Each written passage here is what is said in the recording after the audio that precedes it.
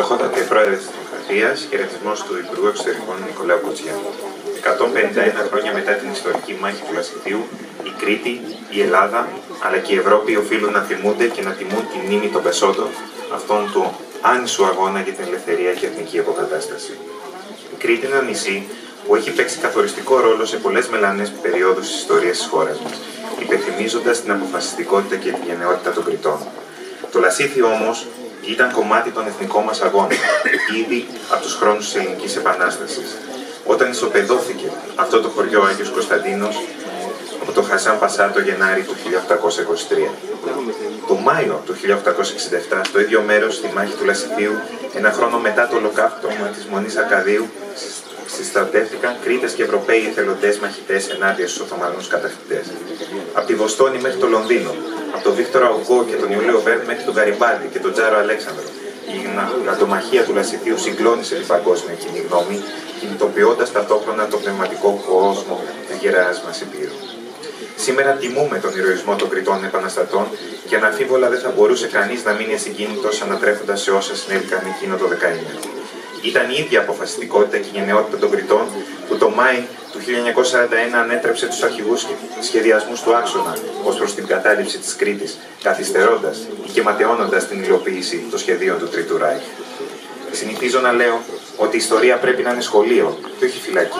Η μάχη του Λασιθίου μας διδάσκει πολλά.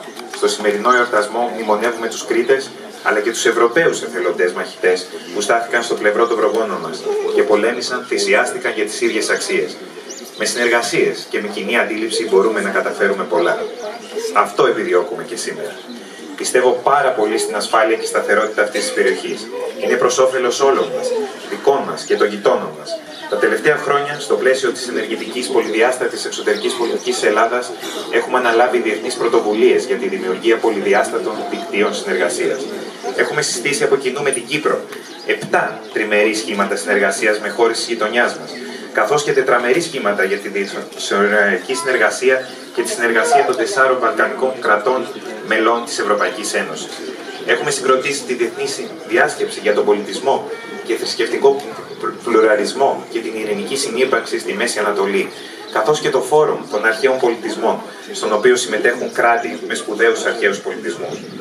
Τον Ιούνιο θα πραγματοποιηθεί και η τρίτη διάσκεψη της Ρόδου για την ασφάλεια και σταθερότητα, η οποία εστιάζει στην προώθηση μιας θετικής ατζέντας συνεργασίας μεταξύ 20 ευρωπαϊκών και αραβικών κρατών της Ανατολικής Μεσογείου για την ασφάλεια και σταθερότητα της πολυτάραχης αυτής της περιοχής, προωθώντας αυτό που αποκαλούμε το πνεύμα της Ρόδου.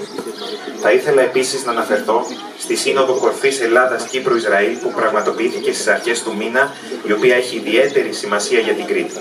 Στο πλαίσιο της συνεργασίας μας με την Κύπρο και το Ισραήλ, η Κρήτη διαδραματίζει καθοριστικό ρόλο στην ενεργειακή διασύνδεση της Ανατολικής Μεσογείου με την Ευρώπη μέσω του σχεδιαζόμενου αγωγού EastMed, αλλά και στην ηλεκτρική διασύνδεση Ισραήλ-Κύπρου-Ελλάδα μέσω του προθαλάσσιου ηλεκτρικού καλωδίου Ευρωάσια και Αιγύπτου-Κύπρου-Ελλάδα μέσω του σχεδιαζόμενου Ευρωαφρικά Interconnector, συμβάλλοντας ως εκ τούτου στην ενεργειακή ασφάλεια του νησιού της Ελλάδας και της γυραιάς Υπήρου.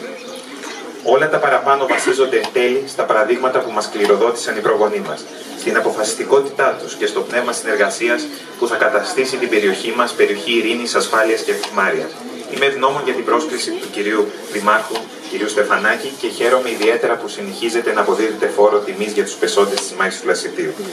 Τιμώντας τη μνήμη αυτού του σημαντικού ιστορικού γεγονότα, Τιμούμε την αυτοθυσία όσων έπεσαν μαχόμενοι για την ελευθερία αυτού του τόπου, αποδεικνύοντας ότι η θέληση ξεπερνά κάθε εμπόδιο.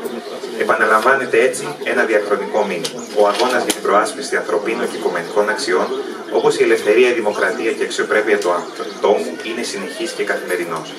Και εγώ θέλω να προσθέσω ως λασιτιώτη και γενικώ το αποδείμου καταγόμενος και εγώ από εδώ, εδώ στην Ελλάδα των βουνών, αρχή και σχατιά της Ευρώπης, εξοχότατε πρόεδρε της Δημοκρατίας, αυτές οι άγιες μέρες γεννιέται και βαφτίζεται η δίδυμη ελπίδα όπως και σε άλλα βουνά του μέλλοντος στους γένους μας. Σας ευχαριστώ πολύ.